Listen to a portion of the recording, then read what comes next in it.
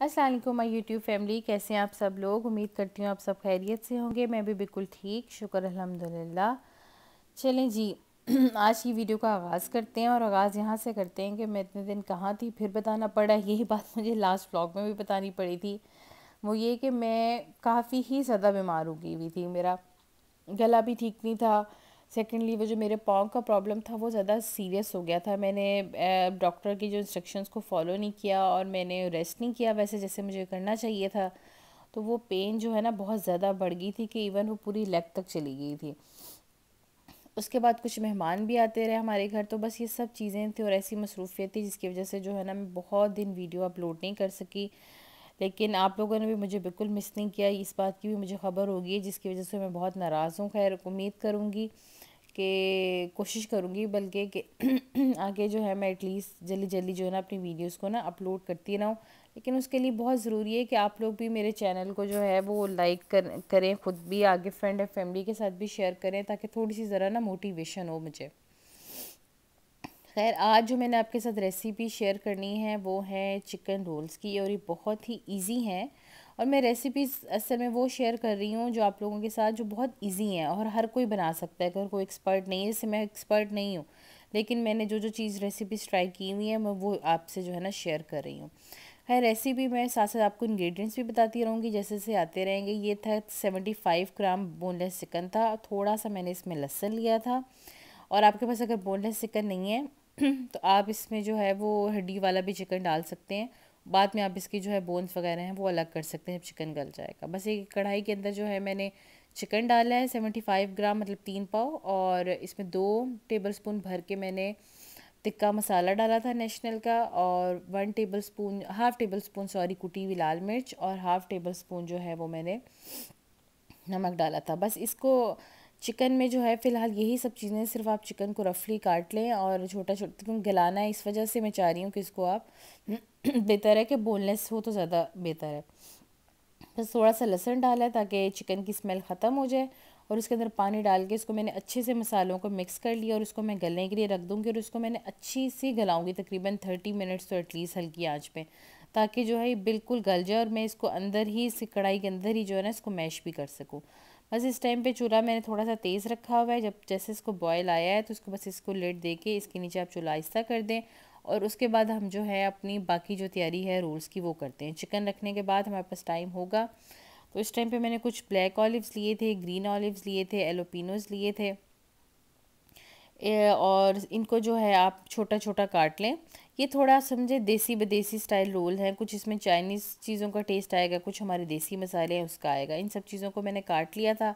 साथ जब आधा पानी रह गया मेरे चिकन में तो मैंने इसके अंदर जो है वो ज़ीरा पाउडर डाल दिया था, एक चम्मच भर के। तो इसमें स्टार्ट में मैंने ज़ीरा इसलिए नहीं डाला था, मैंने आपको पहले भी कुछ रेसिपीज़ में बताया था कि ज़ीरा अगर स्टार्ट में डालें तो उससे जो है ना इसमें करवाहट आने का जो है ना वो ख़तरा होता है। अच्छा साथ जो है ना मैं इसमें आधा टीस्पून मैंने गरम मसाला पाउडर भी डाला था, ये जो मैंने अभी डाला है, वो शायद वहाँ पे क्लिप में सही से कैप्चर नहीं हो सका। तो बस आधे पानी के टाइम पे हमने ये सब चीज़ें डाल दी हैं और इसको इस पर फिर से गलने के लिए रख देंगे। फिर हमने बाकी सब चीज़ों की तरफ़ आ गए तो ये एक मैंने स्वीट कॉर्न का डब्बा लिया हुआ था। ये साथ साथ खुल रहा था। ये आपने इसमें डालना है, आपके पास अगर आप घर में सिट्टा हो तो आप वो भी डाल सकते हैं। ज़रूरी नहीं है कि आप बाज़ार के लें, उसको बॉईल करें और उसकी जो मकई है वो उसमें डाल सकते हैं। इसमें कुछ ऐसी चीज़ें जो बच्चों को बहुत ही अच्छी लगेंगी। अच्छा इसके अंदर मैंने तकरीबन डेढ़ शिमला मिर्च बहुत छोटी छोटी काटी थी। आप कोशिश करें कि रोल्स के अंदर और दो हरे प्याज के, ये वाइट हिस्सा है, अभी हरा हिस्सा मैंने इसमें ऐड नहीं किया।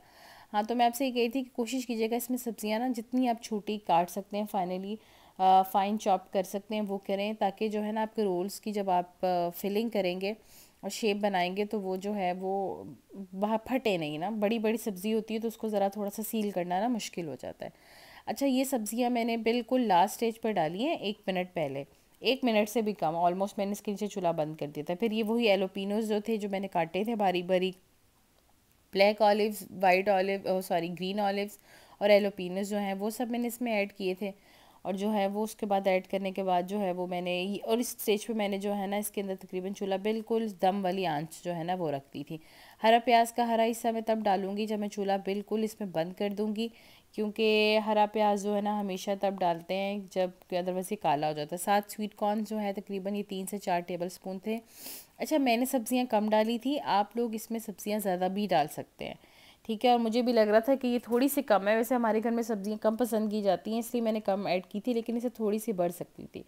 और ये बस जो बाकी स्वीट कॉर्न का डब्बा था, मैंने कहा आपको उसको सेव करने का तरीका बता दूँ। बस आप इसको उसके पानी के समेत फ्रीज़र में रख दें। क्योंकि एक दफ़ा जब ये खुल जाता है तो उसका ख़राब होने का ख़तरा है। फ्रीज़र में रख दें, फिर चाहे आप इसको तीन महीने पड़ा रहने दें फ्रीज़र में ख़राब नहीं होगा। फिर आपको जितना चाहिए, उतना आप इस्तेमाल कर लें। और यहाँ पे मेरा चिकन की फीलिंग तकरीबन ठंडी हो गई थी। तो फिर मैंने जो हरा प्याज का हरा हिस्सा था, वो मैंने इसमें जो है ना वो ऐड कर दिया था। तो ये ज़रा बड़े अच्छे से, बहुत स्पाइसी नहीं है, मैंने मसाले कम डाले, आप इनको ज़्यादा स्पाइसी करना चाहते हैं तो आप ज़्यादा भी कर सकते हैं, लेकिन इनका टेस्ट ना बहुत ही अच्छा था। बस उसके बाद इसकी शेप देने की तैयारी शुरू हो गई थी तो इसके अंदर मैंने मैदा लिया था। मैदे में थोड़ा सा जो है वो पानी डाल के आप इसको, मैंने थोड़ा सा भी डाला था, अभी तो खैर इसमें ज़्यादा मैदे की रिक्वायरमेंट होगी, तकरीबन आपका एक कप मैदा जो है वो इस्तेमाल होगा इसको सारे में शेप देने के लिए। लेकिन मैंने थोड़ा थोड़ा करके जो है वो किया था ताकि वेस्ट ना हो। जितनी ज़रूरत है उतना मैं साथ साथ मिक्स करती रही थी। बस इसमें आपने हल्का आहिस्ता आहिस्ता पानी डालना है ताकि जो है वो आपके जो है ना इसमें लम्स ना बने इसके अंदर। और उसके बाद जो है वो, जो हम इसको शेप देना शुरू कर देंगे। लेकिन ये भी ना हो कि बहुत ही गुरनी सा आप पेस्ट बना दें कि वो पट्टियों को चिपकाने के बजाय ना पट्टियों को वो बिल्कुल जिसे कहते हैं ना ख़राब करना शुरू कर दें। इतना थिक ज़रूर हो। कि वो थोड़ा सा चिपकने में जो है वो काम आ जाए। और फिर पट्टियाँ जो हैं इसके अंदर वो बाज़ार की इस्तेमाल होंगी। लोग घर में भी बना लेते हैं, लेकिन वो बहुत मेहनत तलब काम है। सो बाज़ार से मिल जाती हैं तो मेरा ख्याल है कि वो बेहतर है अच्छा पट्टियों का भी ये है कि आप इसको फ्रीज़र में रखें। बेशक पहले आपने जब भी मंगवानी है। ठीक है अदरवाइज़ ये चिपकी रहेंगी। देखिए, मेरी पहली पट्टी ख़राब हो गई इंप्रेशन ख़राब हो गया था मेरा। लेकिन खैर, उसके बाद आप इसको जिस दिन बनाने हैं, रोल, जैसे मैंने तीन चार घंटे पहले निकाल के बाहर रख दी थी। और उसके बाद आप माइक्रोवेव में इसको सिर्फ़ आधा मिनट के लिए रख दें।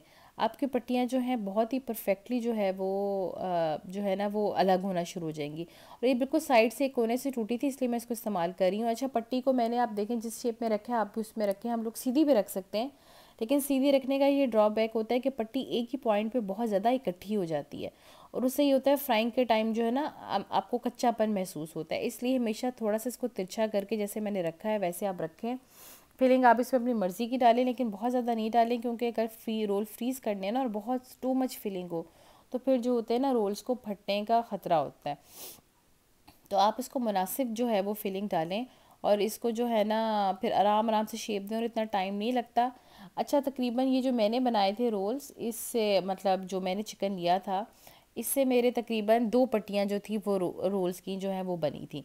और क्योंकि आपको पता है पट्टियों में से कुछ पट्टियाँ अक्सर ख़राब भी निकलती हैं टूटी हुई होती हैं। कुछ तो आप उतार अलग करते हैं उस टाइम पे भी हो जाती हैं लेकिन कुछ पट्टियाँ वैसे भी अंदर टूटी हुई होती हैं।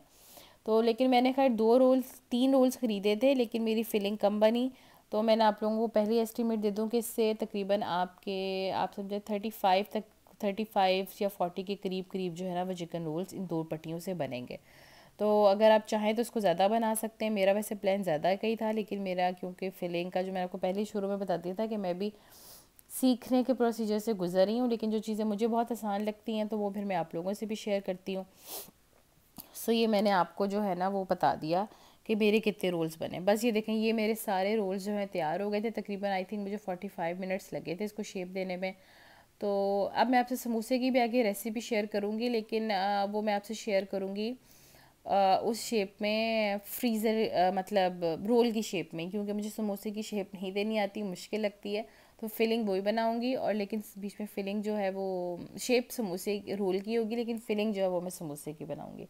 बस इसके बाद आप बैग्स जो हैं घर में जो भी पड़े होते हैं आपके, या नए बैग से ले लें तो ज़्यादा अच्छी बात है। बस उसको लगा लगा के इनको फ्रीज़ कर दें। और फिर मैंने आपको दिखाने के लिए कुछ रोल जो है ना, मैं सोचा फ्राई भी कर लूँ जो फ्रेश थे। अच्छा फ्रेश हैं तो इसलिए मैंने इसको तेज़ आँच में रख रही हूँ। लेकिन अगर जब आप फ्रीज़ रोल्स बनाएँ तो आप उनको बिल्कुल ठंडे ऑयल में डालें। उसके बाद आप देखिएगा कि आपके रोल्स अंदर तक जो हैं, वो बिल्कुल सही होंगे, कोई अंदर आपको वो ठंडे नहीं लगेंगे या कच्चे नहीं रह जाएँगे। और कोई वो जिसे लोग कहते हैं ना, पता नहीं, ठंडे ऑयल में डालेंगे तो ख़राब हो जाएँगे। मैं आपको कभी ठंडे वाले भी जो है ना, वो भी फ्राई करके दिखाऊँगी, बिल्कुल तो वो बहुत ही ज़बरदस्त बनते हैं। तो ये एक तरीका है कि फ्री जो फ्रोज़न आइटम्स हैं, कोई भी, जैसे जिनके ऊपर ऐसी पट्टी होती है, उनको जो है हमेशा ठंडे ऑयल में डालना चाहिए। बस ये हमारे रोल्स हैं, अच्छे से गोल्डन ब्राउन हो गए हैं। आपके घर अगर एयर फ्रायर है तो आप इसको एयर फ्रायर में भी बना सकते हैं। और एयर फ्रायर में वही एज यूजल आप इसमें बस थोड़ा सा ऑयल जो है इसको स्प्रे करें। और उसके बाद जो है आप जो है वो आ, इनको जो है बस इसको रख दें फ्रायर में से दस से पंद्रह मिनट में ये बन जाएँगे। और ये जी हमारे ज़बरदस्त से जो है ना रोल तैयार हो गए थे मैं इसको अभी आपको काट के भी दिखाती हूँ ज़बरदस्त मैं इसलिए कह रही हूँ कि मैंने ये ट्राई कर लिए मैं और ये वाकई ही अच्छे बने थे। तो आप इसको शाम में बच्चों के लंच बॉक्स में किसी भी टाइम पे दे सकते हैं वेजिटेबल इसमें और ऐड कर सकते हैं। ये मैं आपको थोड़ा सा काट के भी दिखा दिया है कि इसकी जो है किस किस्म की वो फाइनल लुक आ रही थी। और ये बहुत ही अच्छे बने थे। आप इनको दो ढाई महीने के लिए आराम से जो है फ्रिज में जो है ना फ्रीज़ कर सकते हैं। ये नेक्स्ट डे का क्लिप था। उस टाइम सारी रात ये पड़े रहे हैं तो ये फ्रीज़ हो गए हुए थे। तो बस फिर मैंने इनको छोटे छोटे बैग्स में डाल के तो वापस अपने फ्रीज़र में रख लिया था। होप आपको रेसिपी अच्छी लगेगी।